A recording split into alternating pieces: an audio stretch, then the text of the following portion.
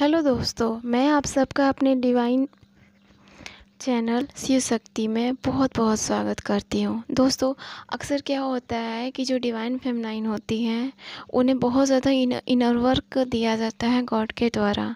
अपने डीएम को अवेकन करने के लिए भी उन्हें इनर वर्क दिया जाता है।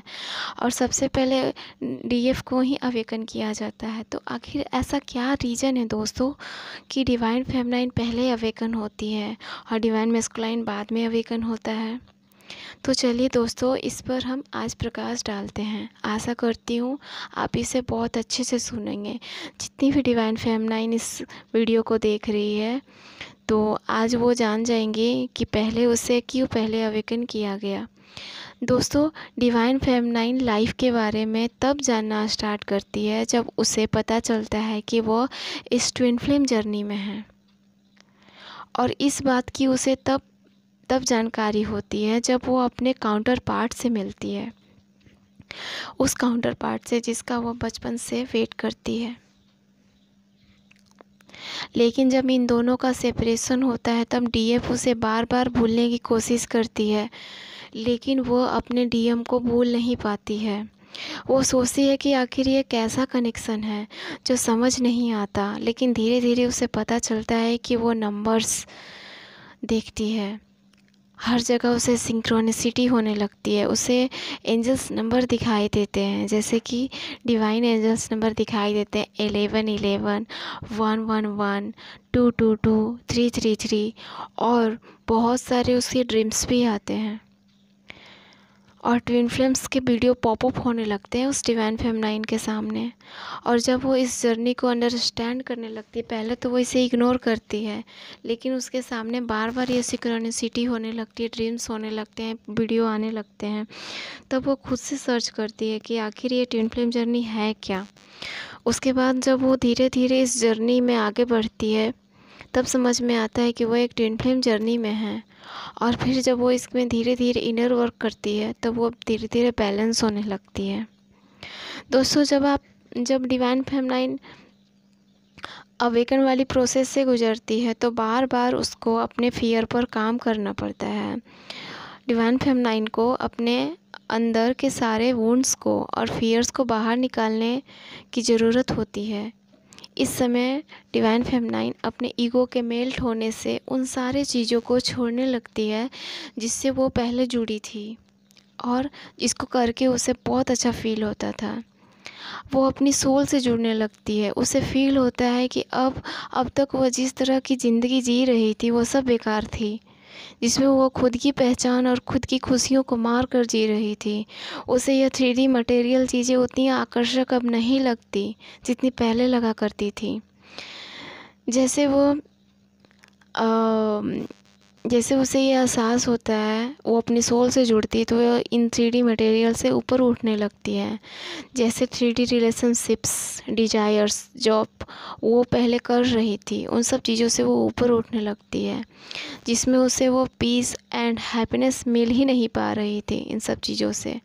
डी एफ़ सोचती है कि मैं किस तरह की ज़िंदगी को जी रही थी पहले।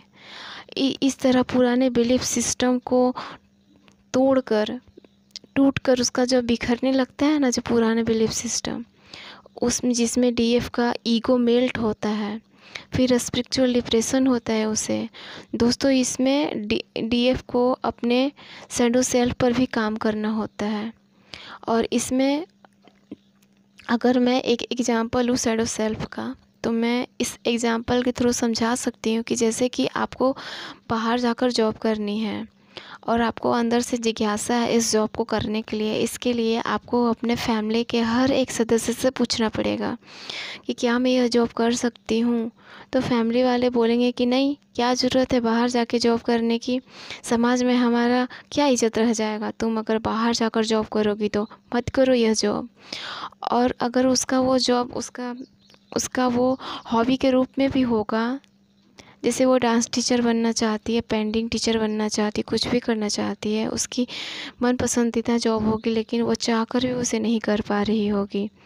और वो उस करियर को नहीं चुन पाएगी, उसको छोड़ देगी, उस जॉब को नहीं करेगी, और अपनी खुशी को, अपनी हैप्पीनेस को भूल जाएगी। और जैसे उसके घर वाले उसे कहेंगे करने के लिए, वो वैसा करने लगेगी। चाहे डीएफ को जितना भी पेन मिले इमोशनल पेन हो मेंटल पेन हो फ़िज़िकल पेन हो, वो उसे सहती रहेगी सहती रहेगी। लेकिन जैसे ही उसकी अवेकनिंग होती है, उसे यह सब चीज़ें धीरे धीरे समझ में आने लगती है कि वो पहले क्या कर रही थी। जबकि वो चीज़ वो ये चीज़ें करने यहाँ नहीं आई है। तो यह बचपन से यह सब तो यह बचपन से उसे सिखाया जा रहा है, उसके अंदर प्लांट किया जा रहा है कि तुम्हें यह सब चीज़ें करनी है। यह सब सैडो सेल्फ होती है डीएफ की। और जब उसकी अवेकनिंग होती है डीएफ की, तब तब उसे यह सब चीज़ें समझ में आने लगती है। और वो अपने सैडो सेल्फ को साइड को छोड़कर आगे बढ़ती है। और डीएफ अपने सोल से जुड़ती है और इन सारे बिलीफ सिस्टम को चेंज करने लगती है। पुराने बिलीफ सिस्टम को और सैडो सेल्फ को छोड़कर आगे बढ़ती है। इसी वजह से डिवाइन फेमनाइन की अवेकनिंग होती है, दोस्तों, और आपको ट्विन फ्लेम जर्नी इसलिए दी जाती है क्योंकि आपको डिवाइन का सोल पर्पस पूरा करना होता है, जिसके लिए आप यहाँ पर आते हैं। लेकिन आप, आपको इस पर्पस को पूरा करने के लिए आपको अपने आप को चेंज करना होता है, आपको ट्रांसफॉर्मेशन से गुजरना होता है, ठीक है? आपको एक प्योर सोल के रूप में कन्वर्ट होना पड़ता है। एक प्योर सोल एक प्योर सोल जिसमें ना तो किसी के लिए ईगो है, ना जेलसी है और ना हार्ट रेट है। किसी के लिए भी नहीं। किसी से आपका डायमेंशंस ही चेंज चेंज हो जाता है। आपका किसी से वाइब्रेशंस नहीं मिलता है जब आपकी अवेकनिंग होती है। अब जब आप लव एंड पीस की स्टेट में आने लगते हैं, जब आप अपने सोल से जुड़ते हैं डिवाइन फेमनाइन को बोल रही हूँ मैं। जहाँ पर डिवाइन आपको अपने, आपके अंदर की, आपके अंदर ही फील होने लगता है, तब आपको समझ में आता है कि आप यहाँ पर क्यों आए हो? आप यहाँ पर किस लिए आए हो? और आपका सोल पर्पस क्या है? इस ह्यूमन लाइफ का क्या मकसद है? आप अपनी सोल से पूरी तरह से जुड़ जाती हैं। और इससे आप लोगों की ज़रूरत, आपको आपको लोगों की ज़रूरत अब उतनी महसूस नहीं होती। और जैसे पहले हुआ करती थी और अब आपको और अब आपको अपने डिवाइन पर्पस को पूरा करने से कोई भी नहीं रोक सकता। अब आप अपने पीछे जाके देखती हैं कि डीएम आया डीएम आया आप पेन से गुजरी इन सब सिचुएशंस का हुआ ऐसा क्यों हुआ? यह सब आपको समझ में आ, आने लगता है। यह सब ऐसा क्यों हुआ? किस लिए हुआ? लेकिन जब आपका ट्रांसफॉर्मेशन होता है तब आपको हर चीज़ में लव लव नज़र आता है और आप पहले से ज़्यादा हैप्पी एंड लविंग सोल में कन्वर्ट हो जाती हैं। आपको सारे पीपल्स प्लांट्स चाइल्ड एनीथिंग सब में एक समान की भावना नज़र आने लगती है। जब आप जब आप और आपका डीएम दोनों इसी बैलेंस स्टेट में आ जाते हैं, तब जाकर आप दोनों को महसूस होता है कि आप दोनों एक ही सोल के पार्ट हो और यह फीलिंग बहुत ही प्यारी होती है। आप जितना भी हार्डवर्क की, उसका पे के रूप में आपको डीएफ मिलता है। दोस्तों डीएफ की अवेकनिंग इसलिए होती है क्योंकि डीएफ बहुत इंट्यूटिव होती है। उसकी जो फीलिंग होती है, सबकी तरफ़ केयरिंग होती है नर्चरिंग होती है इंट्यूटिव होने की वजह से वो उस डायमेंसन से जुड़, जुड़ी हुई होती है।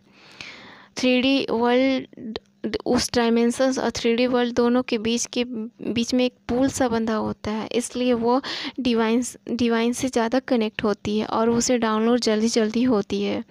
डीफ को spirits world spirits guides angel की तरफ़ ज़्यादा अट्रैक्शन होता है बचपन से ही।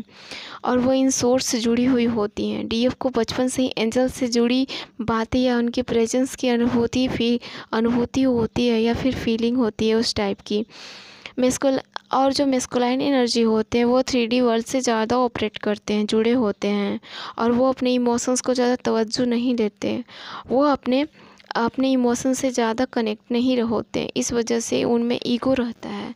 इसलिए यह इमोशन से जुड़े नहीं होते हैं।